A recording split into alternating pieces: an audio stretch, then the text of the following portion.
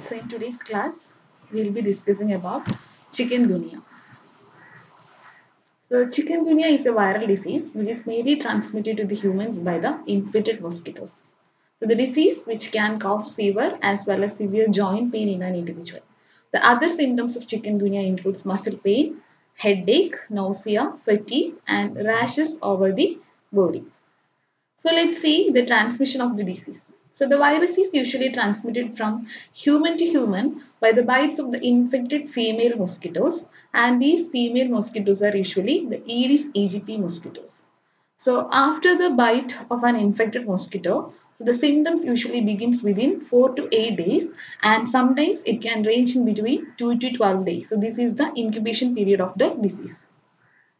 And regarding the pathophysiology, so following the bite of the infected uh, Aedes mosquito, the virus will be injected into the dermis and from the dermis to the uh, connective tissues, epithelial cells and where the virus usually uh, start to replicate. And in addition, uh, after the replication, there will be a phase will develop that is known as viremic phase, which means the presence of virus in the blood, which usually take place in between 5 to 7 days. Okay, and this time the circulating monocytes are responsible for the dissemination of the viruses into the bloodstream. So the acute phase of infection is mainly characterized by strong type 1 interferon response by the infected fibroblast and other cell types.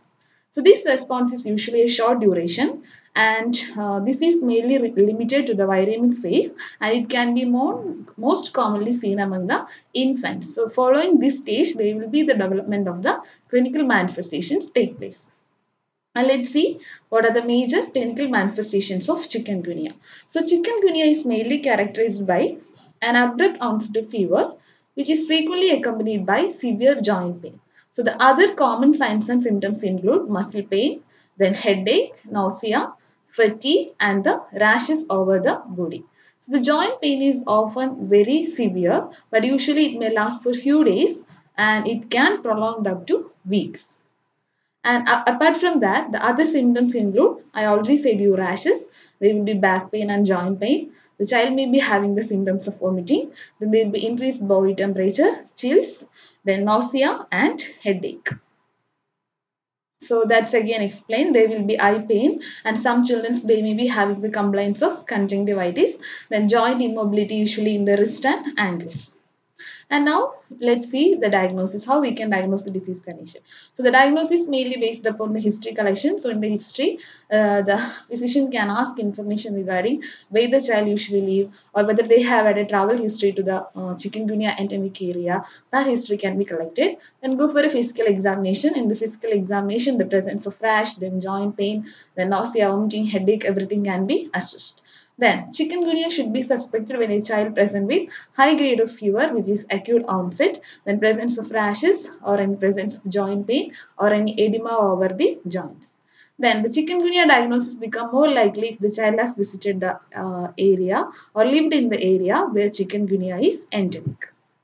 And regarding the laboratory diagnosis of the disease, so the lab, uh, laboratory confirmation of the chikungunya is mainly based upon the virology and serological studies. So during the first five days of infection, the virus can be found in the blood by the reverse transcriptase polymerase chain reaction.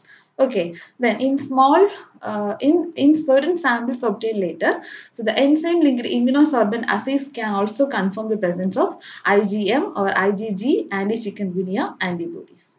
Then IgM antibodies appear between 2 to 7 days after the onset of the symptoms, whereas IgG antibodies are usually found in the blood following the first week of the infection.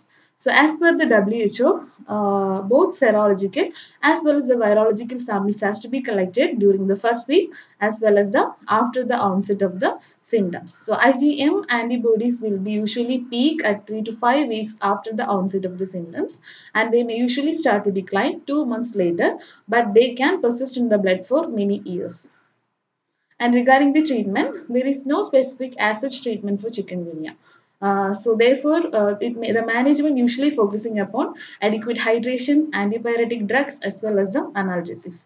So some experts they recommend that uh, NSAIDs like salicylate drugs has to be withheld because they may increase the risk for internal bleeding. and this in order to avoid the bleeding manifestation NSAIDs to be avoided. So uh, sometimes these children or these patients they may be having severe joint pain. In such situation, we need to provide them NSAIDs along with the corticosteroids. That is usually the uh, given drug is methotrexate. So uh, recent studies result shows that this is effective. And the one more another drug that is ribavirin. So this ribavirin is an antiviral drug which can improve the uh, arthralgia or arthritis in some adult uh, category, but their effective upon the pediatric cases are still not known. Research studies are going on. Okay. And the best way to treat chikungunya in kids by getting plenty of rest, staying hydrated, drinking adequate amount of fluids, then spending time indoor uh, for the indoor activities and relaxing. And eating a healthy diet will also helps to increase their body function. And the diet should include adequate amount of fruits, vegetables that are loaded with vitamins, minerals, and various nutrients. So regarding the prevention, so keep the environment clean and fully clothed. Uh, so this will helps to provide uh, protect the child as well as the adult from unnecessary mosquito bites. Then cleaning the stagnant water, removing the garbage and staying in air conditioned rooms will also helps to protect from the mosquito bite. Then eliminate the immature larvae of the mosquito from the water by uh, giving certain sprays, kerosene oil, etc. and maintain good hygiene and wearing long gloves uh, when you're taking care of Uh, the people with the chikungunya in the hospital settings. Okay, so these all are regarding the preventive measures. Okay, thank you.